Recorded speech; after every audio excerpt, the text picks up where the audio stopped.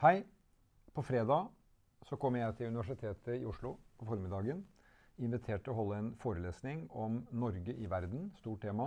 Internasjonal politikk, en urolig verden og utenrikspolitikk eh, for den tiden vi lever i. Det gleder jeg meg til. Alltid spennende å være på det store, flotte universitetet i min by. Jeg håper jeg møter riktig mange som koronareglene tillater, og gleder meg til fredag. Håper jeg ser deg der.